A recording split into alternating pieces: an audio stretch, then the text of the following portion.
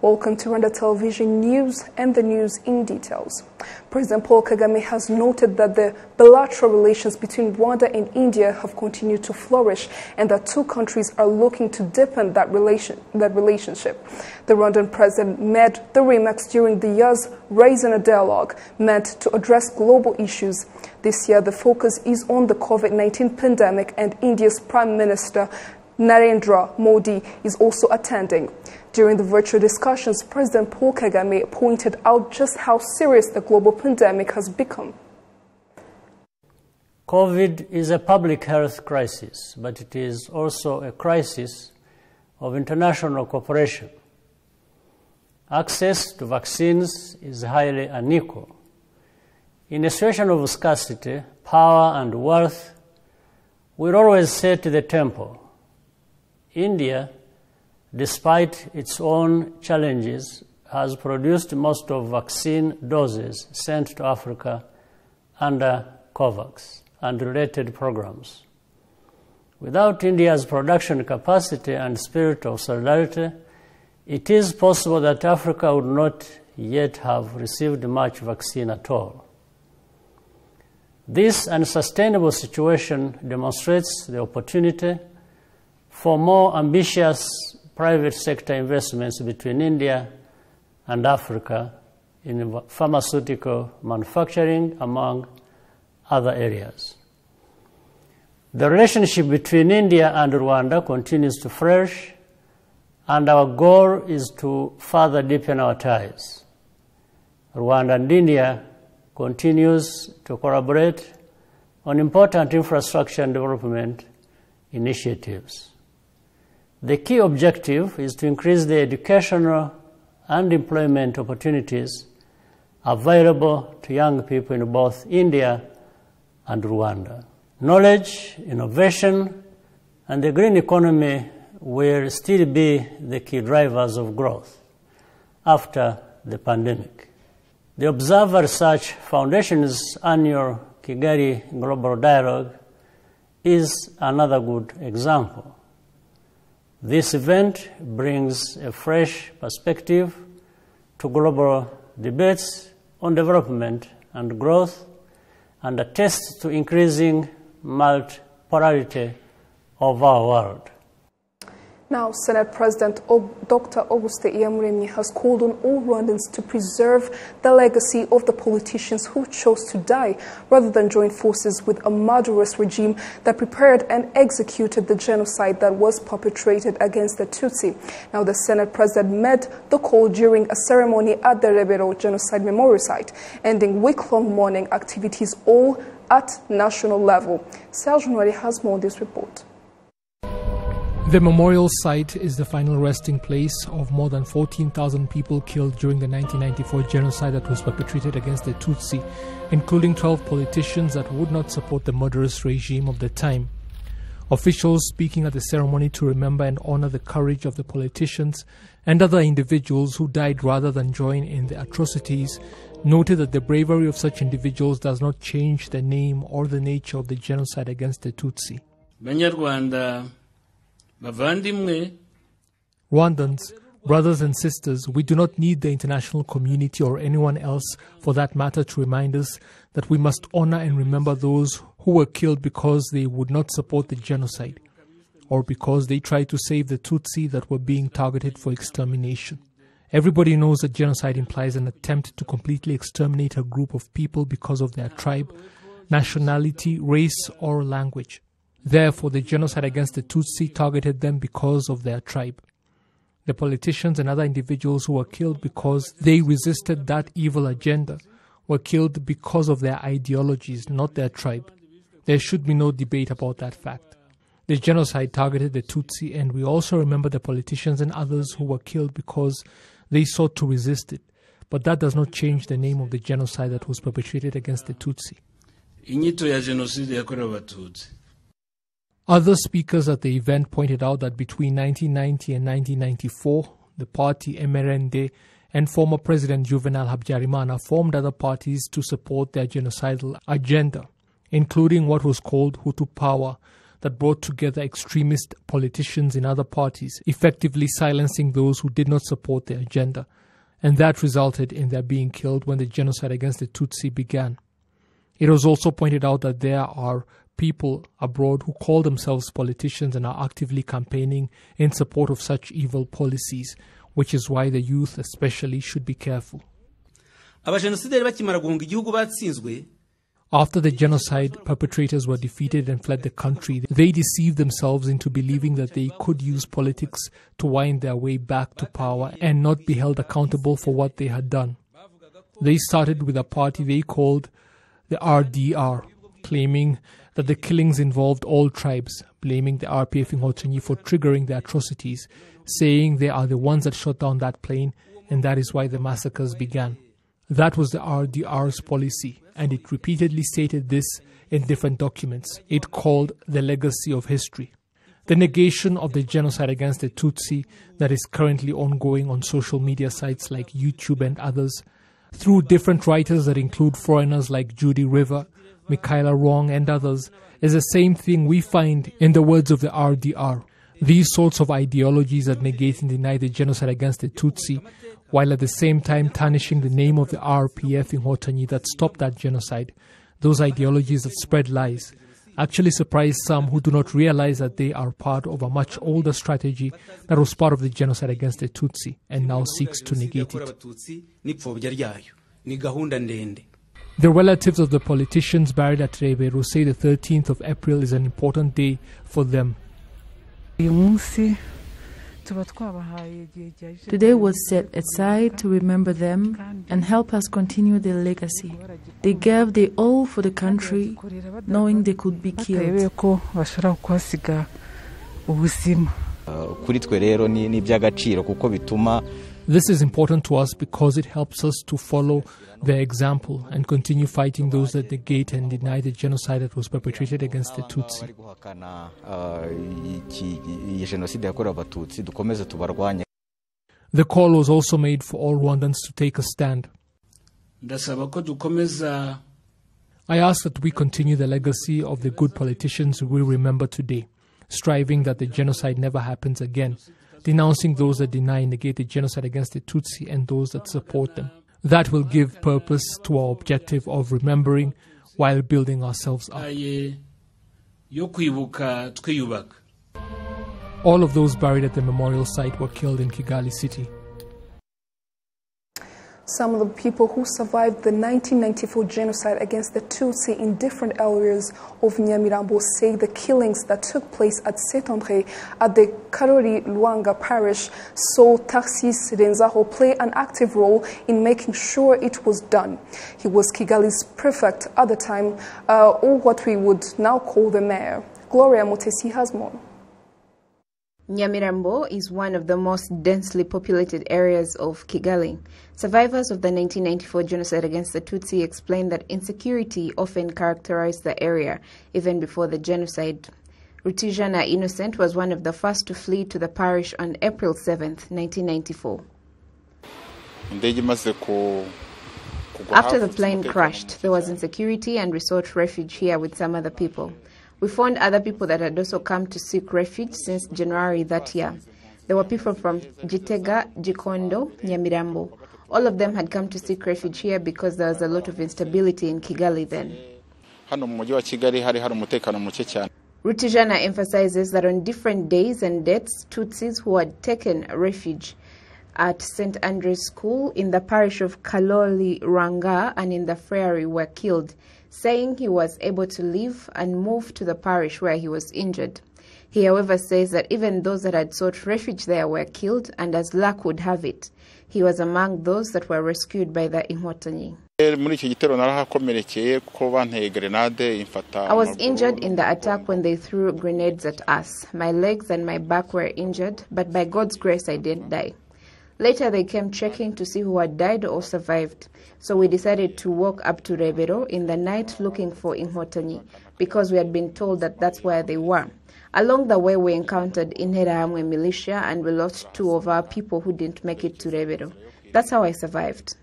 baje kugira ibyago bagwa mu nzira ntabwo babashije kugerayo ariko abandi twabashije kugerayo inkotanyi ziratwakira Brother Munana Jean Paul was one of the people at the ferry at the time of the attacks and was also among the hunted. He recounts that brutality of the killers was excessive because even though he was able to hide, what he saw was horrible.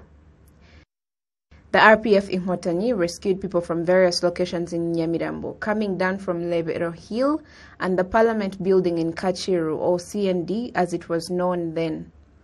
The president of Ibuka in Nyarugenge district, Rutaisire Masengo, says that the massacres in Nyamirambo had the former leaders in Kigali as the masterminds behind them.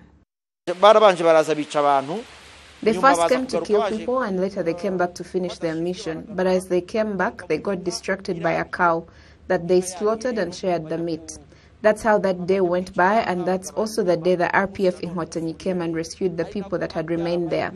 Among the people that gave the command to kill included Renzaho Tharcisse and another one called Munyakazi, who gave permission to the Interahamwe to start killing the Tutsi in that area. The thousands of Tutsi killed in various parts of Nyamirambo are among the 45,000 people killed in Nyarugenge district in total, of which 37,000 have been found and given a decent burial. Ah, rero twibuka nanone turaharanira yuko As we continue in the commemoration, we strive that we continue the unity of Rwandans, but also look for information of where the bodies of those who perished in the 1994 genocide against the Tutsi could be, so they can be accorded a decent burial, which is why we have set up a unity and reconciliation program at the cell level, and we believe that we will get the information of all that perished in the genocide. twizeye tudashidikanya ko tugiye kubona amakuru menshi y'abatutsi bazize ze- jenoside Although many people from Nyamirambo perished in the 1994 genocide against the Tutsi, the survivors say 27 years later, a lot has been done to improve the people's well being and that they are continuing on the journey of unity and reconciliation. In collaboration with the security forces operating in Rusizi district, 12 people, including one woman, have been arrested on suspicion of armed robbery, killing one person and injuring another, and extorting more than 3 million Rwandan francs from the locals at the various times, but consecutively since the end of last year up until March 2021. Now, residents reported that they now feel safe after hearing that the thieves have been arrested. Among those who were robbed is Teogene Nauchiriwabo, a resident of Hombo sector who was robbed of 705,000 Rwandan francs on the 22nd of December 2020. Just five days later, on Sunday, the robbers went to Avugamenshi Fidel's house in Gihundwe sector, killing his wife, Olive Nyirandaisenga, and taking 470,000 Rwandan francs. Murenzi Boniface, one of the robbers, who has been brought forward as the one who did the shooting wherever they went, admitted to shooting the woman at her husband's conspiracy as neighbors affirm that they were having conflicts between them. He had promised them 500,000 Rwandan francs of which they collected from their house in form of robbery. ayo mafaranga bivugwa ni ay'umugabo yari yatubwiye He had promised us that amount, and he also asked us to take his cell phone as well in order for the robbery to look real. When we arrived at his house, he came outside and briefed us that we should do it as quickly as possible and be done by 9 pm. We first tied him in order to look the part, and as we entered the house, he showed us where the money was.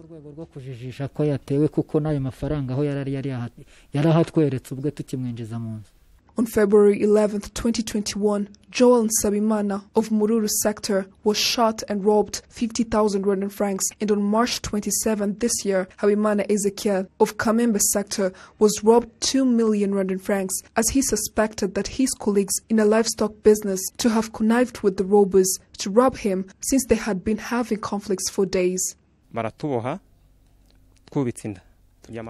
They made us lie down on our bellies as they tied our hands, and they called me out by my name. I answered. And they told me that my colleagues have sent them to kill me, but the only way to let me live is if I give them my money. As for the guns, the only woman imprisoned with 11 men confessed to have given the gun to Boniface at the request of her father, who had bought it in Congo and bought it with the dowry money which had been paid for her, as she was soon to be wed in a few days. Mbo imbunda kugira ngo nyimuhe kuko banayikoreshaga we na muzehe muzehe bamufunze mu kwezi kwa I gave him the gun because he shared it with my father. My father was imprisoned on November 30th. After he was put in jail, he called me on the phone and asked me not to give it to Boniface because he could take it for good. And instead, he suggested I give it to my brother, who afterwards refused to take it. In the end, Boniface came and took it. ko nya musaza wanjye musaza wanjye aranga ko atayifata noneho boni araza arayifata The spokesperson of RIB, Dr. Murangira Thierry, explained how they were caught. Eh, bafashwe ku bufatanye n'inzego z'umutekano zose zikorera mu karere ka rusizi We captured them with the help of security forces operating in Rusizi district. For a while, these crimes were being placed on the security forces because the robbers were disguising themselves as one of them using military uniform. But we are now relieved that they have been exposed. We were very scared because we were worried these acts of violence would continue if they are still out there on the loose. But we are now relieved that they have been exposed. They are being prosecuted for arms possession and trafficking, armed robbery, murder, criminal gripping and embezzlement, unauthorized use of public works, and unauthorized use of clothing to mislead the public, of which the minimum sentence is five years in prison and the maximum is life imprisonment. All 12 face a life sentence if found guilty. Almost 10 years after the end of the Gacaca courts, some of the survivors of the 1994 genocide against the Tutsi are worried about the pending implementation of court rulings regarding the compensation for their properties. Gloria Motesi continues with this story. 27 years after the 1994 genocide against the Tutsi, some survivors say they are saddened that they have not been compensated for their property after the Gacaca courts ruled out on the issue almost 10 years ago. The problem we have is that we haven't been compensated for our assets. They keep hiding what they have to pay us. For instance, they're supposed to pay me 1.1 million and they still haven't paid. They say non payment of their property damage during the 1994 genocide against the Tutsi is hindering the process of unity and reconciliation between them and the perpetrators. Until they can compensate us for what the court ruled on, then we can promote unity and reconciliation and live in harmony after they've played their part.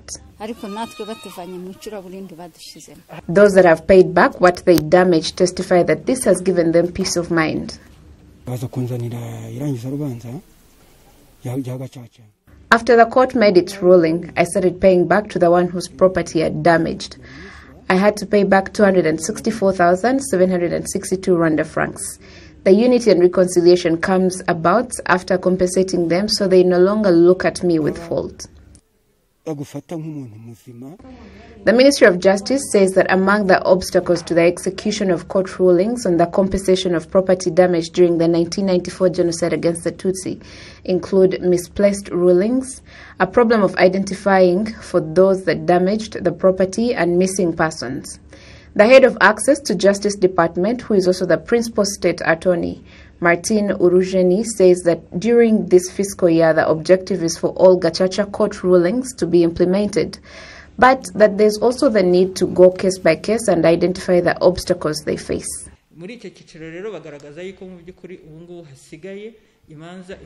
That is to say that there's no reason as to why we should still be having the other cases that were already ruled on and meet all the requirements.